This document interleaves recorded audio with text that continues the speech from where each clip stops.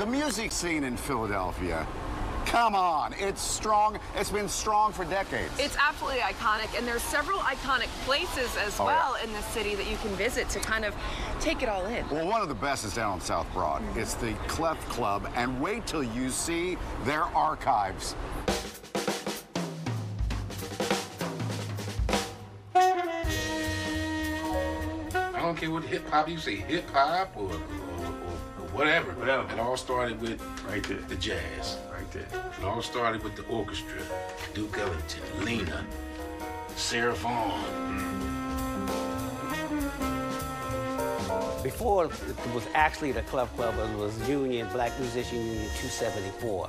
When they built the Clef Club here on this site, in 1995, okay, one of the things that was part of that was all those records that was uh, gendered or collected, the records of musicians' performances, the record of musicians' employment records, also, the membership information, all of that was in 274. So all of that was transported over to the Clef Club. So the Clef Club created a special space for those archival materials to be stored. It's important to have history, man. You know, it's important to have history of this, of the, and kno- and knowledge of this music.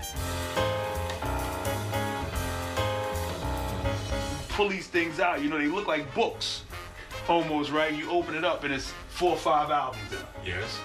Right, right there. This tell you right here. Even the same here to tell you it was in the 50s and the 40s. You know. Like, do we even have anything to play these on? Oh yes. Do you organize these, man? Most of the time I do.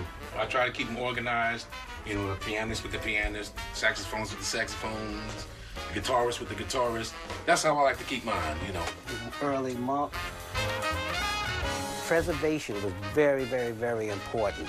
Uh, uh, presentation, so of course, you know, musician has to perform. And then the most important thing that we continue right now is education. My young people say, well, who taught John Coltrane? You know, so we can find out through that history, either oral history or printed history, who are those people? And I think this is our oldest one. They dedicated a space, and this is that space for archives.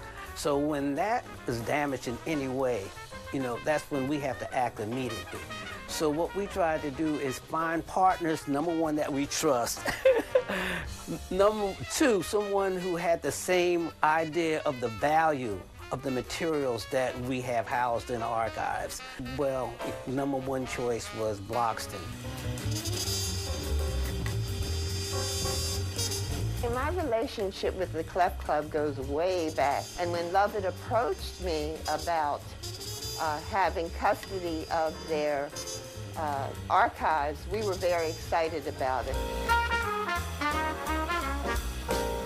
I have a lot of respect uh, for Local 274, jazz musicians in general, and the work that Lovett is doing at the Clef Club. Uh, there were more than 50 so-called colored locals in the United States in various jurisdictions.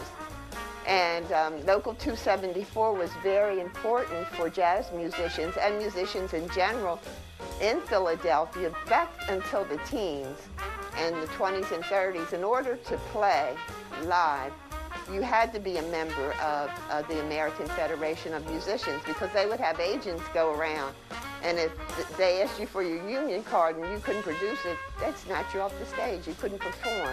All of these prominent musicians that came out of, that were members of Local 274, Dizzy Gillespie, uh, Lee Morgan, John Coltrane, uh, Nina Simone. I could go, the list goes on and on and on. Early on, among workers, they were some of the earliest unionized professionals.